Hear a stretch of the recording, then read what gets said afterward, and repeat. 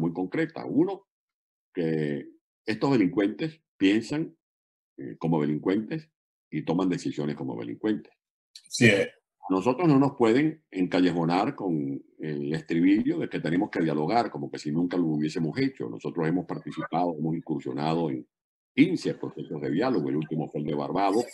que Maduro aprovechó para desmontar las movilizaciones de calle, que son un recurso indispensable para poder vencer a una tiranía feroz como la que padecemos nosotros en Venezuela.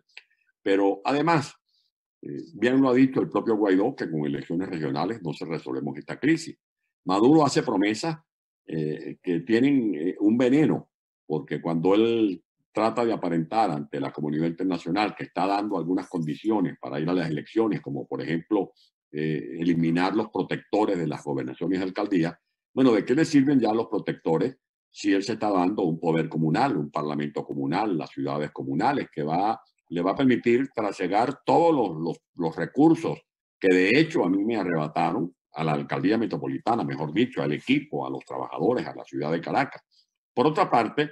Maduro quiere convertir este, esta propuesta de un acuerdo de salvación nacional en una tabla de salvación para sí mismo porque él sabe que está, que está en zozobra, que está zozobrando, que está naufragando, a él no le importa que quien termine hundiéndose en ese abismo sea Venezuela y que él se salve junto con sus socios. Maduro hace estos arrestos de, de, de, atentar contra Guaidó, de meter preso a Guevara, a Tarazona, porque también él quiere ocultar el miedo. Maduro está muy asustado y eso tenemos que advertirlo los venezolanos de apure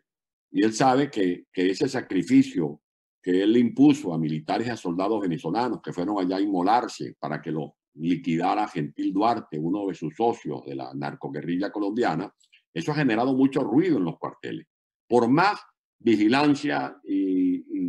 persecución que ejerzan los militares cubanos que están infiltrados en las guarniciones venezolanas, hay mucho malestar y por eso fíjate que Maduro no fue ni al desfile del 24 de junio en Carabobo, ni fue al desfile del 5 de julio y acaba de hacer unos cambios a última hora para tratar de parapetear la situación en una Fuerza Armada donde la mayoría de la tropa no tiene ni botas, ni tiene aprestos, ni tiene vituallas. Ahí los que se están comiendo el bacalao y se están comiendo el lomito, los que van a los bodegones, los que tienen carros de lujo, los que van a los restaurantes de las Mercedes en Caracas, es la élite corrompida que tiene negociados con la gasolina, con la comida, que tiene negociado y son negociados con los dólares preferenciales.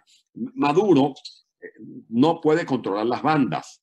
Y por eso el problema del Coqui, porque él creó ese monstruo como Frankenstein y luego se le escapó y ese monstruo anda suelto. Y, estos sucesos ocurren